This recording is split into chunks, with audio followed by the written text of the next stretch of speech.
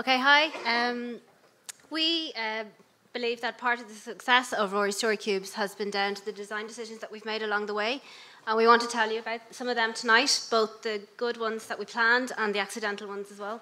So Rory Story Cubes originally started as the MetaCube. It was a creative thinking tool that I used to use with clients, and it was designed to be portable, visual, and highly tactile to facilitate the creative thinking. Okay, so kind of what was powerful about it is our brain thinks in pictures, and it doesn't like incomplete patterns, and this, the MetaCube at the time provides these incomplete patterns for the brain to, to solve and get its teeth into. Um, we found that the universal nature of the icons um, appealed to a much wider audience than just the clients that I was working with at the time.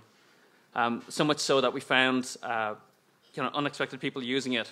Like my friend's daughter uh, kind of used it in, in school, and then we found that um, families throughout the country were, were using it, and schools, and they were starting to ask us, uh, you know, where, where can we buy this thing? but um, we couldn't we couldn't actually sell it as a Rubik's cube. So we had to find what the essence of it was, um, and we found that it was really the the visual and the kinesthetic nature of it. So we broke the Rubik's cube into the 54 images on the Rubik's cube into nine six-sided dice, and it actually became more of a game experience then. Um, it still retained the visual and kinesthetic nature, but it had this lovely added sound and kind of one more go element that um, has added to its success as well. So the, the first 500 sets that we got, um, they were printed onto dice, um, but we quickly found that the ink was starting to smudge when people used them. Um, this was seriously not part of the user, the planned user experience. So um, we found a, a, manufacturer who could produce uh, debossed dice. Um, so they're kind of embedded. Um, so it made them more durable and it also added a really nice feature in terms of uh, what we call the rollability of the dice that people really comment on now. And as a side note, when we saw the iPhone and the accelerometer and the touch screen, um, we developed the iPhone app because this was we could kind of recreate the physical experience, and this is why we've never done like a desktop version or a point and click version. Okay, so we had the play experience sorted out, now we need to sort out the packaging, but we'd no money to spend on design or development. Um, so luckily one day I found Anita taking some jewellery out of a box. Oh, God, I grabbed it and it fit in perfectly.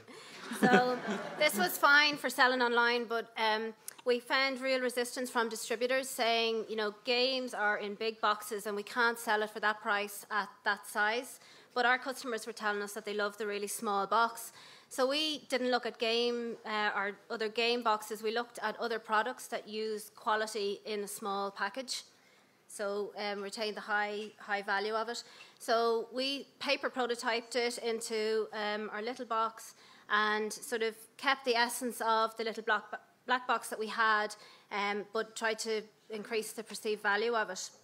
And we work closely with Paul Kelly Design on the, the brand of this, and we, we separated what the, the two users' needs were. The, the retailer needed a sleeve that could have all the information, but the user then, the end user, gets a nice little magnetic box to keep forever. So we think it's a lot of these little design decisions have contributed to the, the reaction that we're getting to the, the story cubes around the world. Um, and it's great whenever I'm feeling down and disheartened, I go to Amazon.com and read the customer reviews to remind us why we're doing this in the first place. Um, but that's not the end of the story. Um, as the product grows, it brings up a whole new set of questions that we have to solve and user experiences we have to think about. Like, how do you sort out when you have more than uh, three sets? How do you sort the cubes back into their box when you've got a classroom that's maybe using six different sets?